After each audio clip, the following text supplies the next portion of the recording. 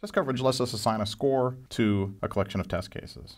And so let's be a little bit more rigorous about it. So what test coverage really is, is a measure of the proportion of a program exercised during testing. So for example, we just talked about measuring the number of functions out of the total number of functions that were exercised by some test suite that we had. What's good about test coverage is it gives us a score. It gives us something objective that we can use to try to figure out how well we're doing. Additionally, when coverage is less than 100%, that is to say, is in our example, where we had failed to execute all of the functions in the software under test, we know what we need to do to get full coverage. We know what the functions are that we need to execute. Now we simply need to construct test cases that execute those functions.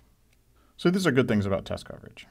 On the other hand, there are also some disadvantages. First of all, test coverage, because it's a white box metric that's derived from the source code for our system, is not good at helping us find bugs of omission. That is to say, bugs where we've simply left out something that we should have implemented. The second drawback is it could be really hard to know what a test coverage score of less than 100% means.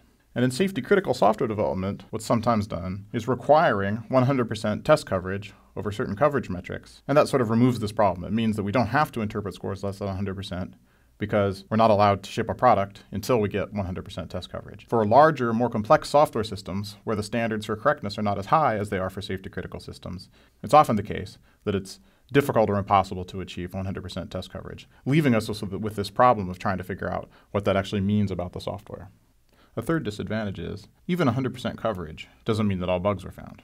And you can see that sort of easily by thinking about the example where we're measuring our coverage by looking at the number of functions we executed. Just because we executed some function, of course, doesn't mean that we found all of the bugs in that function. We may not have executed very much of it, or we may not have somehow found very many of the interesting behaviors inside that function.